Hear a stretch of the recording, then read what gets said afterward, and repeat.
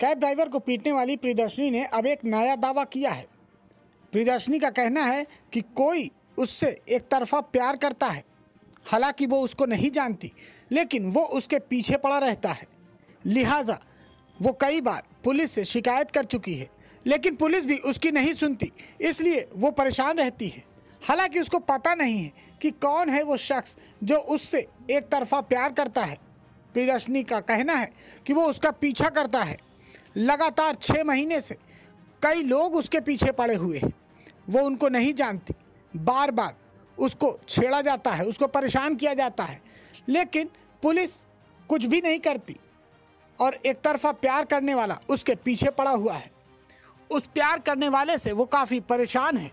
वो समझ नहीं पा रही है कि आखिर वो कौन शख्स है जो लगातार उसकी तरफ़ आकर्षित हो रहा है। प्रियदर्शनी ने ये सारी बातें पुलिस को भी बताई हैं।